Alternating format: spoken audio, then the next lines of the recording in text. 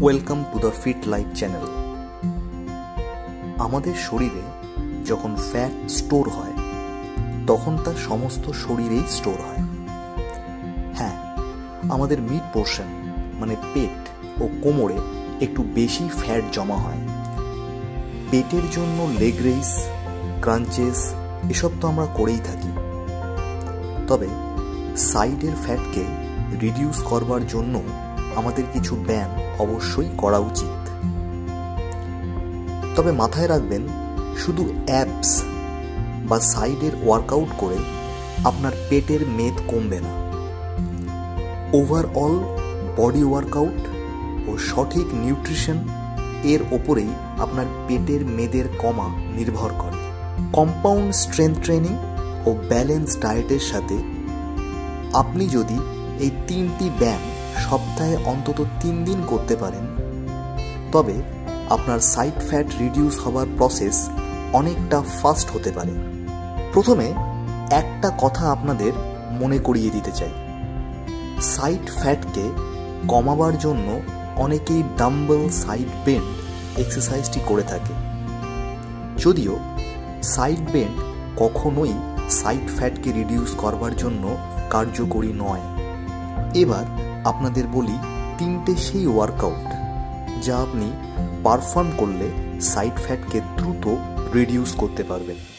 Number one standing torso twist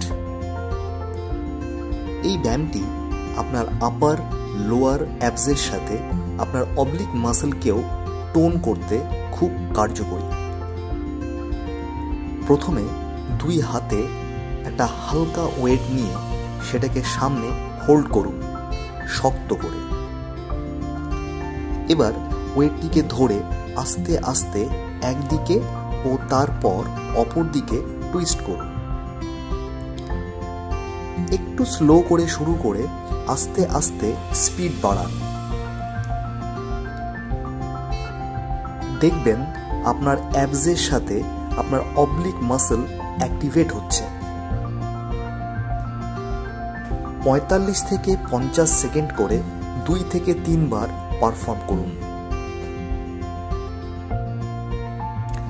Number two side plank side plank খুব popular একটি workout আর হবে নাই বা কেন, এটা সত্যি খুব এফেক্টিভ যদিও সাইড প্ল্যাঙ্ক শুধুই সাইড ফ্যাট নয়, পুরো কোর ও ফুল বডি ওয়ার্কআউট বলেই বেশি কার্যকরী। প্রথমে ফ্লোরে সাইড হয়ে কুনুয়ের ভরে শুয়ে যান। এবার দুটো পা সমানভাবে সাইড করে রেখে কোমরকে ওপরে লিফট করুন। এভাবে পঁচিশ থেকে তিরিশ সেকেন্ড থাকবার চেষ্টা করুন। একটু বেশি সময় থাকতে পারলে আরও ভালো। দেখবেন আপনার কোর মাসেল কি দারুণভাবে অ্যাক্টিভেট হচ্ছে। তিন থেকে চারবার পঁচিশ থেকে তিরিশ সেকেন্ড করে পারফর্ম করুন। Number three, hip thrust. আমাদের গ্লুট, হ্যামস্ট্রিং ও লোয়ার ব্যাক মাসেলের জন্য হিপ থ্রাস্ট এক্সেলেন্ট একটি ওয়ার্কআউট। আমাদের লোয়ার ব্যাকের সাথে যে ফ্যাট থাকে তাকে রিডিউস করতেও হিপ থ্রাস্ট বেশ কার্যকরী। প্রথমে মেঝেতে দু পা ভাঁজ করে শুয়ে পড়ুন। এবার দু হাতে ফ্লোরকে ধরে হিপকে ওপরে লিফট করুন। হোল্ড করুন পনেরো থেকে কুড়ি সেকেন্ড। এভাবে দুই থেকে তিন মিনিট এক্সারসাইজটি পারফর্ম করুন।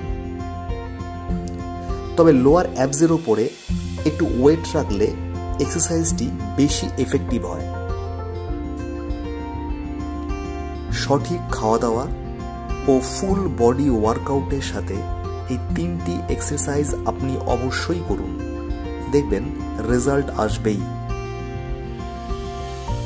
আশা করি আমাদের এই ভিডিওটি আপনাদের অবশ্যই কাজে আসবে, এটাকে ফলো করুন। আর হ্যাঁ আমাদের চ্যানেলটি অবশ্যই সাবস্ক্রাইব করুন। আর লাইক কমেন্ট ও শেয়ার করতে ভুলবেন না। সবশেষে বেল আইকনটা প্রেস করুন।